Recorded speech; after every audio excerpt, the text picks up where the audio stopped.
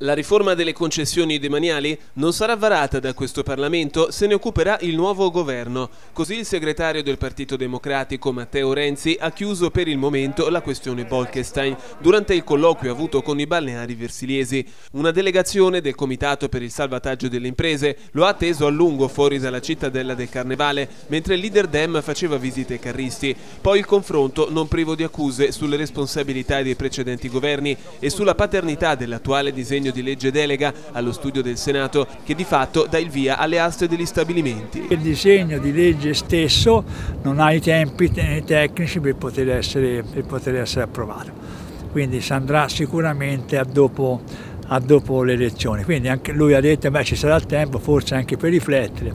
Noi speriamo perché evidentemente si devono rendere conto che quel disegno di legge le aste che sono previste nella Bolkestein non sono applicabili tecnicamente, giuridicamente e anche politicamente perché insomma c'è un settore qui che deve essere salvaguardato.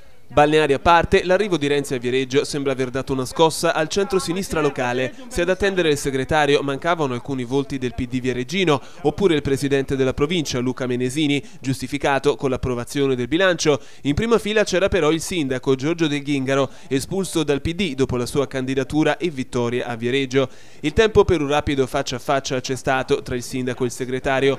Un passo in avanti per riprendere la tessera. Del Ghingaro tace, resta soltanto l'ironia affidata alla sua pagina Facebook, tipica di chi sa ma per adesso non vuole dire.